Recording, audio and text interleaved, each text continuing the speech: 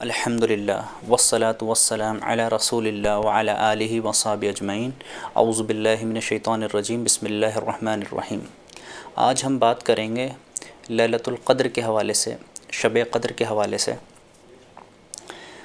بہت سے لوگوں کو یہ غلط فہمی ہے کہ لیلۃ القدر جو ہے، یہ نصف شابان مڈ شابان کی جو رات ہے، پندرہ شابان کی جو رات ہے، یہ شب قدر ہوتی ہے۔ حالانکہ ایسا نہیں ہے۔ جو لیلۃ القدر ہے، جو شب قدر ہے، وہ اصل میں رمضان کی جو آخری دس طاق راتیں ہیں، ان میں سے کوئی ایک رات ہے۔ طاق راتیں مطلب وطر والی راتیں جو آڈ نائٹس ہیں، جیسے کہ اکیس، تیئیس، پچیس، ستائیس، انتیس، یہ راتیں آڈ نائٹس ان میں سے کوئی ایک رات ہے جو لیلۃ القدر کی رات ہے۔ قرآن میں لیلۃ القدر کے بارے میں پوری ایک صورت ہے۔ سورہ قدر صورت نمبر نائنٹی سیون، ستانوے، جس میں اللہ تعالیٰ فرماتا ہے، بسم اللہ الرحمن الرحیم، انا انزلناہ فی لیلت القدر کہ بے شک ہم نے اس قرآن کو نازل کیا لیلت القدر میں۔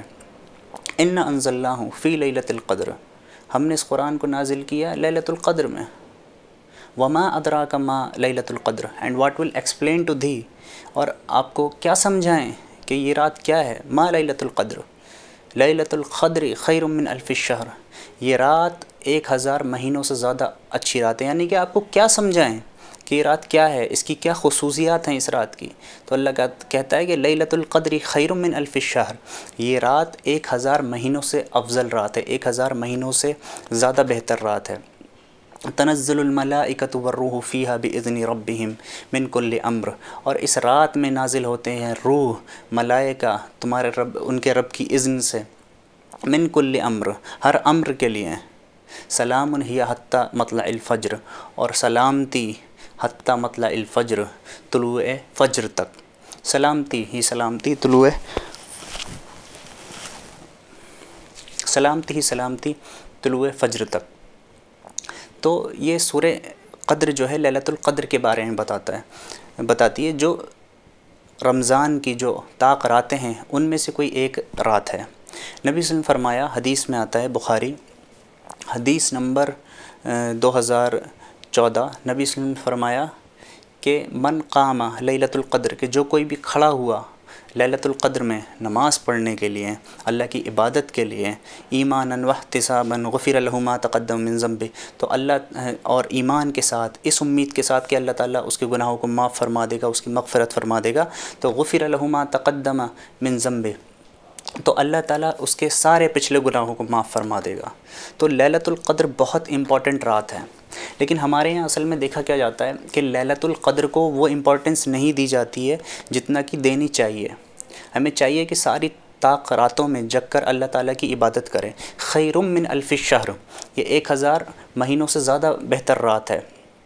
لیکن اس رات میں دیکھا جاتا ہے لوگوں کو اس کے متعلق انفارمیشن نہیں ہے، لوگ خبردار نہیں ہیں۔ لیکن یہاں جہاں تک کی بات آتی ہے شابان کی نصف رات کی، پندرہ رات کی، اس کے بارے میں لوگوں میں بہت انکریجمنٹ ہے اور بہت لوگ جاگتے ہیں، مسجدوں میں جاتے ہیں اور قبرستان میں جاتے ہیں۔ یہ ساری چیزیں کرتے ہیں۔ میں اس پر آؤں گا شب برات کے، جو نصف شابان کی رات ہے، اس کے متعلق میں بات کروں گا فردر بعد میں۔ تو جو امپورٹنٹ جو اصل امپورٹنٹ جس کو لیلت القدر کہا گیا، سب سے امپورٹنٹ رات وہ لیلت القدر کی رات ہے۔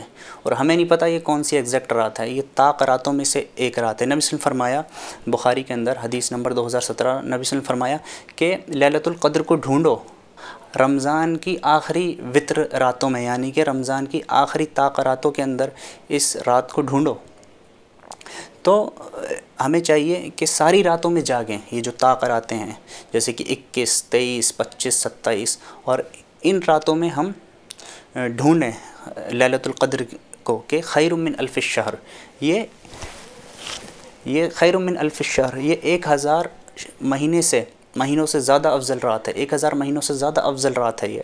تو اس رات کی بہت امپورٹنس ہے، جس کے بارے میں قرآن نے سورہ قدر کے اندر بتایا اور سورہ دخان میں صورت نمبر چوالیس، آیت نمبر تین، اللہ فرماتا ان انزل نہ فی لئی لطم مبارکتن ان کنہ منظرین کہ ہم نے اس قرآن کو نازل کیا لئی لطم مبارک یہ مبارک رات کے اندر ان کنہ منظرین کہ ہم نے خبردار کیا اس سے لوگوں کو۔ تو اللہ تعالیٰ نے قرآن کو للت القدر میں اتارا اور اس کی بڑی فضیلت رکھی، اللہ تعالیٰ نے خیر من الف شہر اس رات کو کہا، ایک ہزار مہینوں سے بہتر رات اس کو بتایا۔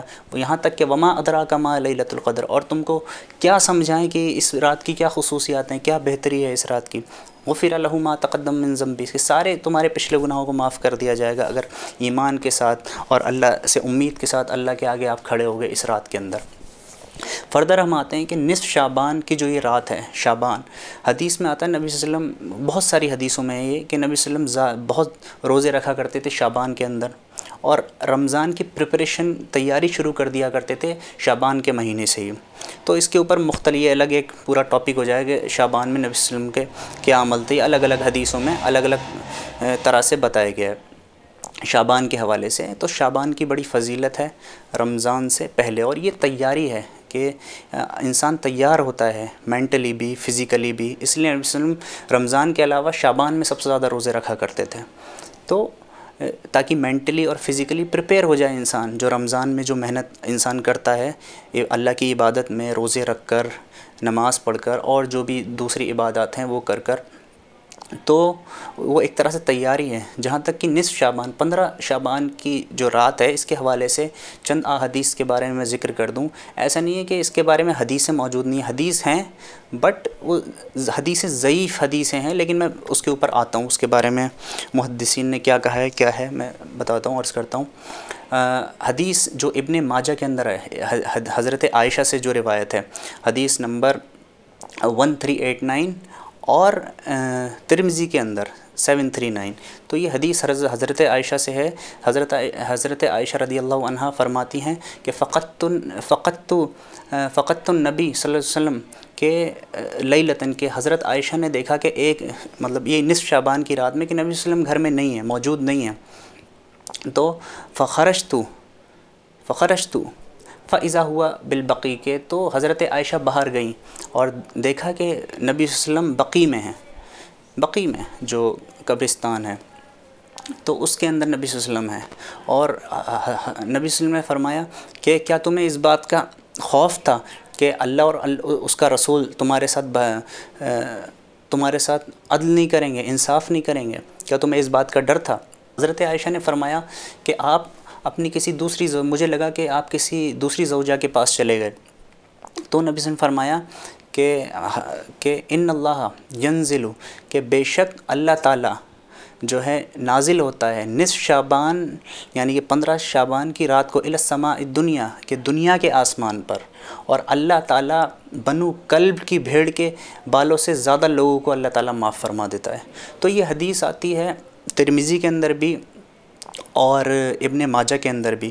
ون تھری ایٹ نائن اور سیون تھری نائن یہ حدیث ہے۔